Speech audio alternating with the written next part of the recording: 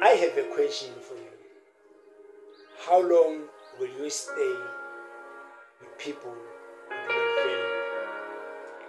How long will you walk with people who are only after to use you? How long will you stay with people who are just after to use you for what you have? It's been too long sitting with these people. We are complaining about them, but we do nothing when it comes to make a strong decision. Many of us, we choose to stay in places whereby we are dying as individuals.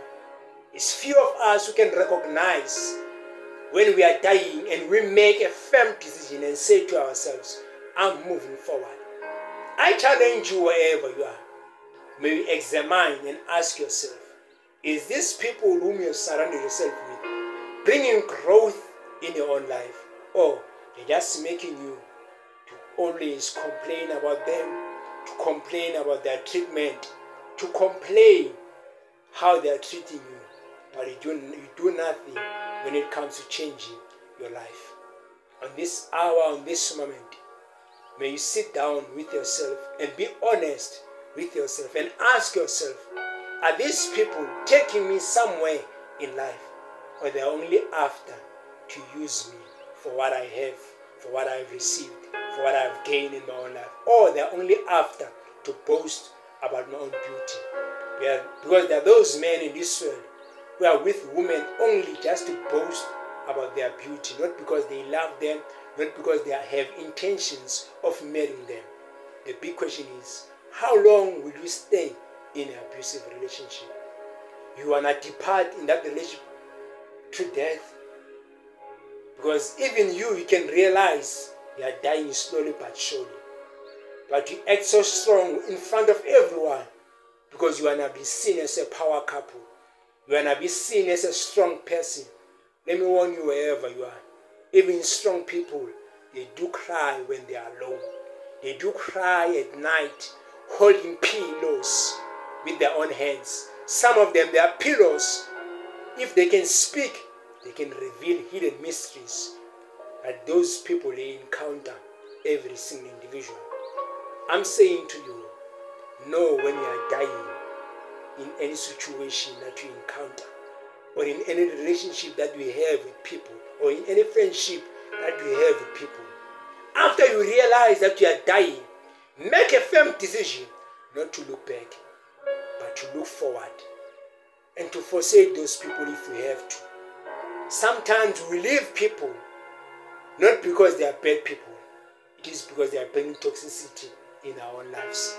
It is because sometimes their time in our lives is over.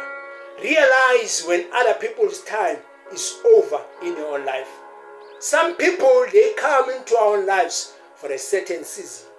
Once their season is over in our own lives, whether we are still wanting to keep them in our own lives, they will leave us. Some of them they will leave us with pain. Some of them they will leave us with the regrets. Some of them they will leave us with lessons that we have learned with those people. While some of them they will leave us with beautiful moments that we have had with them. While some of them they will leave us with words of encouragement, saying to us, continue to be who you are. Never change yourself because of what people are doing towards you. I'm saying to you, learn to know when it's a time to move on from people.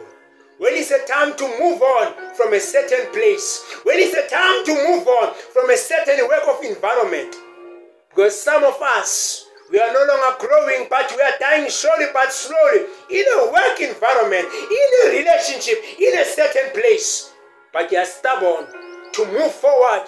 We are stubborn to let go of a workplace. We are stubborn to let go of a friendship. Even when we are dying slowly but slowly inside of our own hearts. I'm still asking the same question. How long will you stay in that place where you are dying?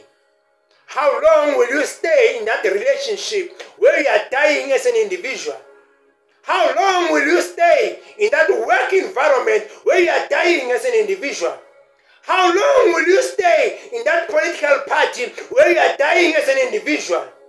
I know many of us we are scared to ask ourselves these questions. That are we, we are we growing or dying where we are?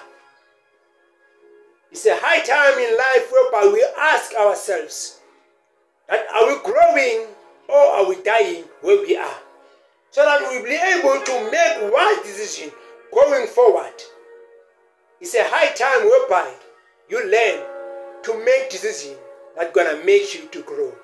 Some of us, we are where we are today because we have made firm decisions with ourselves. We have spoken to ourselves. We have told ourselves that we will never die where we are. If people they wanna cry, let them cry for, for us leaving them. But they will thank us in the long run. Because even then, they are dying having us in their own lives. I'm saying to you, let us learn to examine that are we growing or are we dying where we are. In this episode, as the evangelist Ndinisa, I'm signing out. Be blessed wherever you are.